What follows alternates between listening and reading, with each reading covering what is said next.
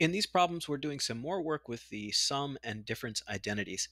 In this case, however, we are using degree measures instead of radians for our angles, and then we've got you know some uh, sort of filled out formula here, one of these parts of the formula, and we need to sort of recognize which sum or difference this is going to be. So it's kind of backwards from the way we were using it before.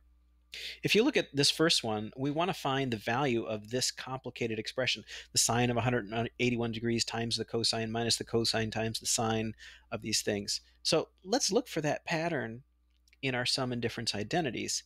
So sine, then cosine, and a minus sign in between. So sine, cosine, minus sine, cosine, sine. So it looks like this one.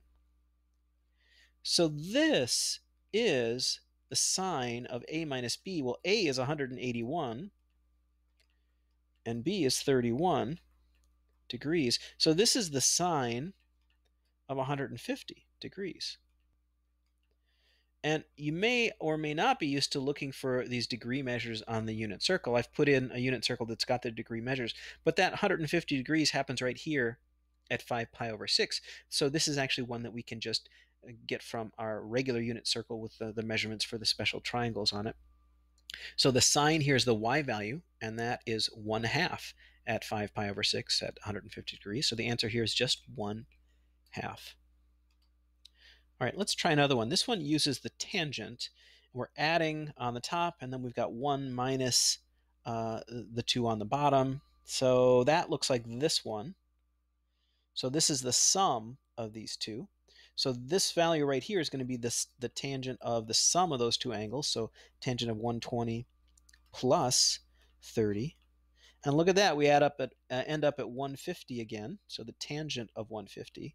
We need to do a little bit more work because the tangent is the sine over the cosine. The sine is the um, y value, and the cosine is the x value. So negative 3 over the square root of 2 if I multiply by 2 over 2, those all those 2's will cancel. I'm going to get a negative 1 over the square root of 3. And then I'm going to rationalize the denominator by multiplying the square root of 3 over 3, a square root of 3 over square root of 3. And what we get on top is square root of 3, and on the bottom we get 3. So that is the answer for the tangent of 150. And that's a little bit more work with the sum and difference identities.